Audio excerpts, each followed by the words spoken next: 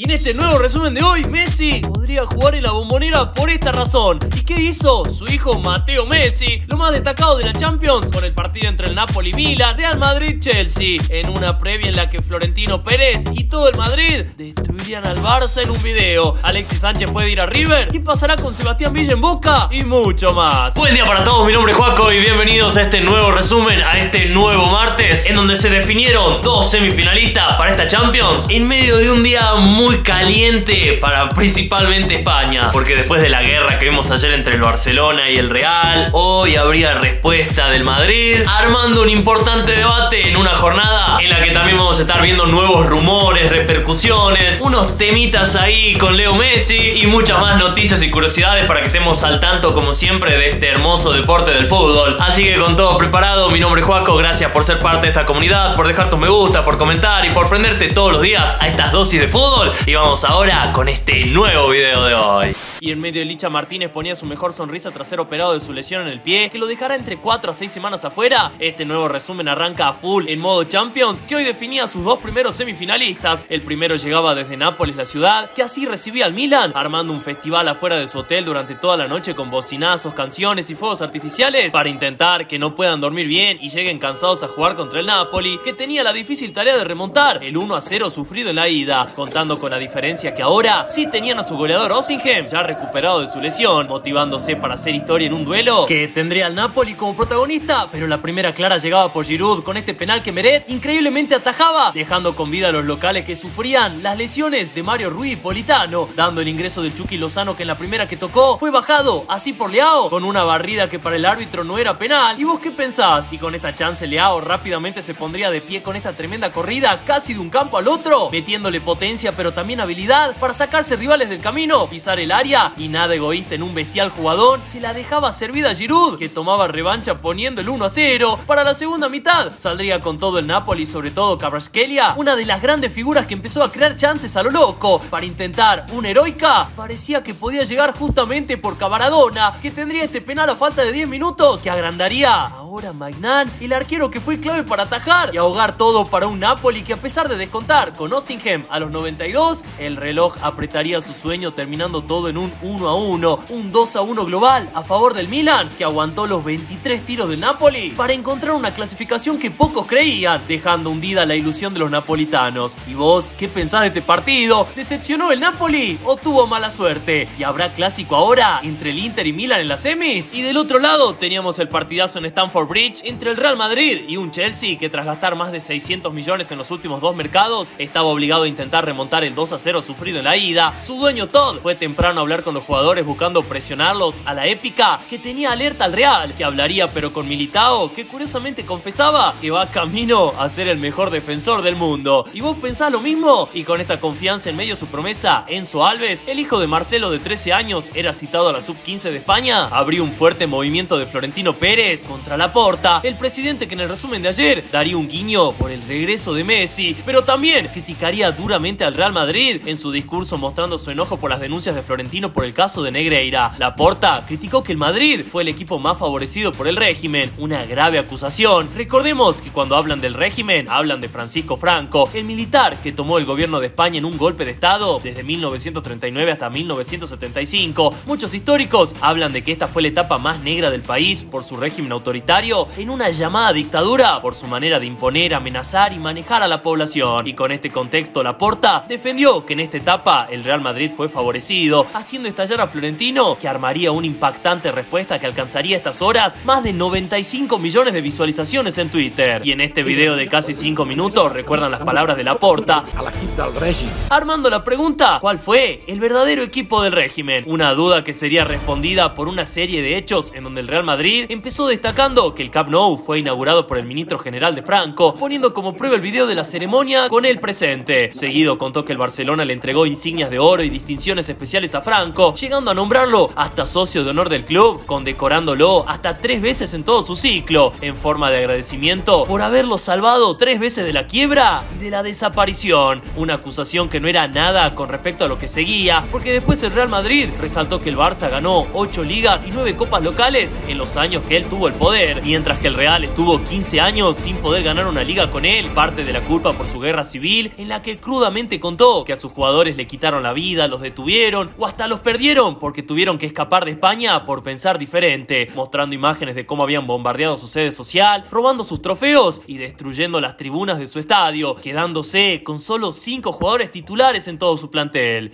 Cuando oigo que el Madrid ha sido el equipo del régimen, me dan ganas de cagarme en el padre de quien lo dice. Y con esto cerraba la respuesta más dura jamás armada de un club contra otro, poniendo abierta la pregunta sobre cuál había sido el club más favorecido. Un video que despertó el orgullo de los exjugadores como Iker Casillas, Arbeló Marcelo, junto al de todos los hinchas que festejaron que el Real se defienda así de fuerte contra un Laporta que quedó hundido. El gobierno de Cataluña pidió por favor que el Real Madrid borre el video porque le estaban trayendo mala reputación a toda la ciudad del Barcelona, cuestionando que no es verdad todo lo que dicen ya que el club habría ganado 7 ligas, pero en 36 años, condecorándolo, pero por miedo, no por agradecimiento. La prensa de la ciudad defendería a la porta, diciendo que hasta la inteligencia artificial informa que el Real Madrid fue el equipo del régimen. El presidente del Barça quería agarrarlo hoy a Florentino en una asamblea de liga a la que el presidente del Madrid no asistió, dejando abierto este cruce que promete nuevos capítulos. ¿Y en qué quedará esta guerra de clubes? ¿Vos qué pensás de todas estas acusaciones? ¿Estuvo bien el Real Madrid o crees que fue mucho? Y con todo este clima se estaba por jugar el partido de Champions, en la que por la sólida línea del Chelsea en el medio, el juego se trabó, teniendo como primera clara esta de James, que le metió un tremendo centro bajo a Cucurella, que solo no podría ante un enorme Courtois, que le daba vida a un Real al que no se lo puede perdonar, porque en el segundo tiempo Rodrigo se inventaría esta jugada para dejar su marca por la banda, compartiéndola con Vini, que se la devolvió a su compatriota, que reventaba el 3 a 0 global, dedicándoselo a su ídolo cristiano, haciendo su mismo festejo que llenaba de preocupación a Lampard, que sacaría a Enzo por Sterling, buscando aumentar el ataque, pero rompiendo el orden que volvería a aprovechar Rudiger con este tremendo bochazo a Vinicius, que vio solo a Valverde, que se sacó como si nada a los defensores dejándole otra vez servida la chance a Rodrigo, que se tomaría unos segundos más para reventar el 2 a 0 que espantaba a los hinchas del estadio, en un global de 4 a 0 que dejaba al Madrid ahora a la espera del City Bayern. ¿Y quién será su rival en las semis? ¿Lo ves al Real como candidato por otra Champions? Y mientras te prendes a escribir tu comentario,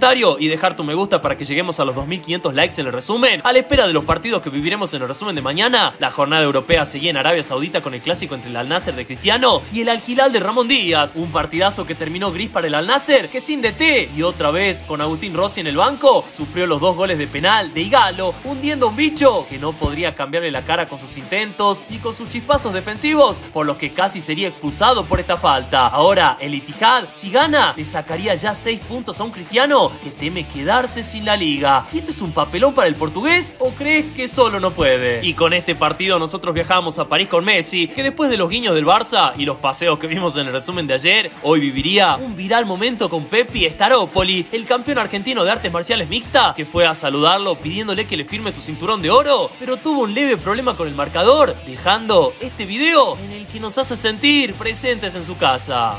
O, o ya lo si quieres. Ahí voy. Uh, pero ¿qué? ¿Qué tío? Espérate, ¿sabes lo que tiene que hacer? Ah, eh, espérate acá, haz lo que dice. No, no, se La voz. la tinta está mejor seca. pero- Es nuevo el. Bueno, tarda un poco. La compramos recién. Sí, pues entonces tiene- tienes que bajar un poco, espera.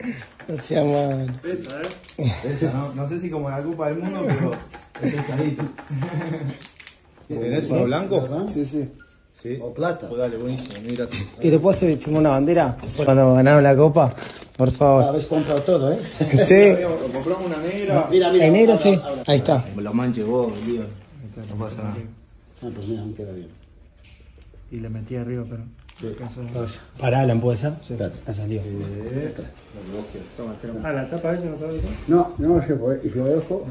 Después de esto confirmó que todos estaban muy nerviosos al tener tan cerca al único ídolo que admiraban de corazón. Y qué loco lo que genera Leo, ¿no? Igual, no solo él, porque entre ayer y hoy también parecía generarlo Mateo Messi, su hijo del medio, que se hizo viral por este supuesto video en el que mostraba todo un enorme gambete y técnica con la que humillaba a sus rivales, volviendo locos a los hinchas, principalmente sub-20 argentinos, que harían tendencia a Mateo, ilusionados, escribiendo que él será el referente del quinto mundial por el que peleará Argentina. Otros incluso se atrevían a decir que Mateo iba a superar a Leo. Sin embargo, entre tanta euforia, tengo que informar que este video no es de Mateo, sino de Amin, una de las joyas de Holanda, que a sus 8 años fue el verdadero autor de estas gambetas. Según revelan, para la familia de Amin es un gran orgullo que su hijo se haga viral y lo comparen con los genes de Messi, aunque curiosamente Amin es fanático de Cristiano Ronaldo y a mí también me hubiera gustado que sea Mateo Messi el de la jugada, pero bueno, habrá que esperar a ver qué es el futuro de los herederos. Por ahora tenemos varios años más para disfrutar de un Leo, que también sería noticia en Argentina, porque se empezó a informar que este junio será muy intenso para la pulga, que quiere asistir a la despedida de Maxi Rodríguez en el coloso de su querido Newell's, en una visita que quiere aprovechar también Juan Román Riquelme para invitarlo a su despedida en la bombonera. El 10 hace tiempo viene posponiendo su última función en su cancha y uno de sus sueños es que Leo juegue ante su gente con la camiseta de Boca, viendo esto un momento ideal en una fecha especial, porque la idea de Riquelme también sería jugarle el 24 de junio, el día de su cumpleaños y también el de Leo, y hay que destacar que en esta fecha Messi va a estar de vacaciones, al no tener compromisos pactados con clubes ni selección, por lo que tiempo habrá en donde sumada a la amistad que mantienen, hay una ilusión fuerte entre los hinchas porque hagan realidad este sueño, pero también con información concreta todavía no hay nada confirmado. El plan recién estaría arrancando y faltan dos meses y el proyecto empezó. ¿Se hará realidad? ¿Jugar a Leo en un mismo mes con la camiseta de Newell's y con la de Boca? Y con esta expectativa ya que estamos con Argentina, hay que contar que la sub-17 del Diablito Echeverry, tras su empate 0 a 0 con Paraguay, logró conseguir dos fechas antes su clasificación al Mundial, a jugarse a fin de año, curiosamente sin sede definida tras la baja de Perú, dejándole picando la chance al Chiqui Tapia, el presidente de AFA, que se movió para hacer que el Mundial Sub-20 sea en Argentina,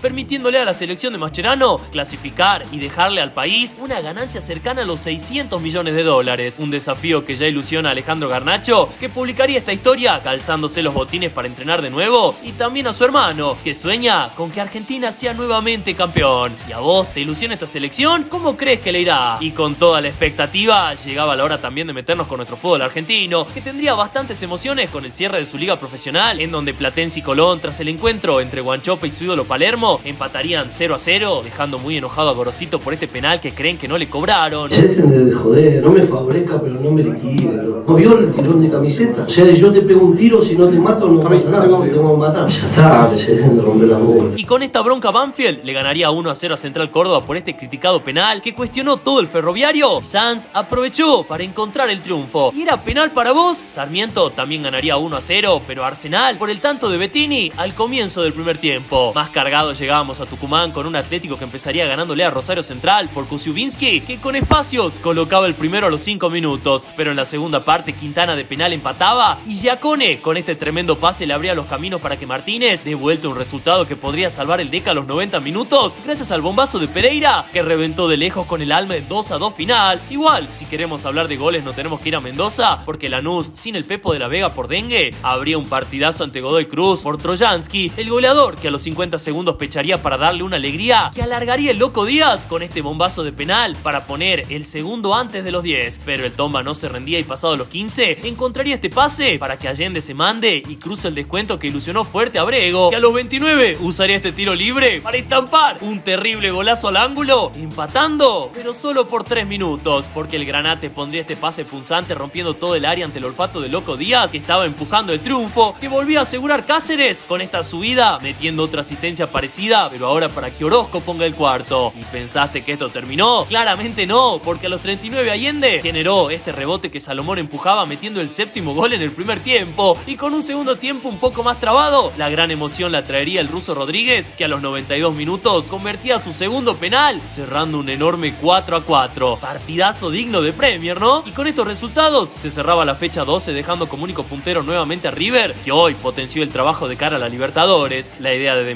Sería volver a cambiar el 11, dándole la titularidad otra vez a Pablo Díaz, Casco, Enzo Pérez y Beltrán, sacando a Mamana, Herrera, De la Cruz y Borja. Habrá que ver si también vuelve Rondón o si sigue Barco. ¿Vos cómo armarías tu 11? ¿Podrás seguir la racha de Micho? Y este presente lo valoró el expresidente Donofrio, pero pidiendo que el plantel siga con los pies sobre la tierra, en una jornada en la que Lucas Lavanino, el arquero de la reserva, fue convocado para la sub-20 de Argentina, y en un día en el que abrió otro rumor fuerte, porque tras lo que informaban en la resumen de ayer sobre James Rodríguez, hoy el protagonista sería sorpresivamente Alexis Sánchez, el atacante ex River, que según el diario francés Le Quotidien firmó ya un preacuerdo secreto para llegar como jugador libre al millonario en junio, tras terminar su contrato con el Marsella. Un bombazo que replicarían rápidamente los medios de Chile, dando como una posibilidad que uno de los mejores jugadores de su selección regrese a Sudamérica a sus 34 años para pelear por una Libertadores con el club que propulsó su carrera. Según informan, sería una decisión que tuvo con su familia y amigos para volver a estar cerca de su país, pero sin perder la competitividad que le podría dar River. Por ahora en el millonario igual no dijeron nada de este preacuerdo y será verdad o solo humo. Vamos a estar atentos, al igual que con James. ¿A vos te gustaría que se haga realidad esta llegada o crees que no hay lugar? ¿Y a quién tendrías que vender para que pueda entrar Alexis al plantel? Y con estos bombazos seguidos para River, nos toca llegar al mundo Boca, que tendría la mente en la previa ante Deportivo Pereira, el club colombiano que se con su capitán con lograr un empate, aprovechándose de las últimas derrotas del Ceneice, algo que no sería una posibilidad para Almirón, que presentó su lista de convocados con las bajas por lesión de Fabra, Langoni, Ramírez, Valdés, Roncaglia y el Changuito Ceballos, que sintió unas molestias en la rodilla. Y ante estos problemas el DT ensayaría un 11 con Romero, en la defensa Advíncula Figal Valentini y nuevamente Valentín Barco, en el medio Paul Varela y Oscar Romero por Ramírez, y arriba Merentiel, Benedetto y un Briasco que ingresaría en lugar de Villa, que a pesar de estar convocado no pudo entrenar en esta semana ni concentrar anoche con el plantel por el juicio que empezó en el resumen de ayer por la denuncia de su expareja por violencia de género. Hoy temprano Villa volvió a estar presente ante la jueza intentando desocuparse rápido para poder sumarse con el plantel, pero antes tenía que dar su testimonio defendiendo su inocencia y escuchar después a los testigos a favor y en contra suyo. Almirón, a pesar de la presión popular que cree que Villa debería estar apartado, lo quiere esperar hasta último momento. Villa llevó la ropa en su auto para cambiarse rápido y dirigirse a la bombonera con el deseo de ser hasta titular. Vamos a ver en el resumen de mañana cómo se definió todo esto. ¿Vos qué pensás del caso de Villa? ¿Te parece bien que juegue? ¿Y qué pensás del 11? ¿Te gusta la formación o qué le cambiarías? ¿Cómo crees que le irá a Boca? ¿Podrá cambiar la racha en la bombonera por Libertadores?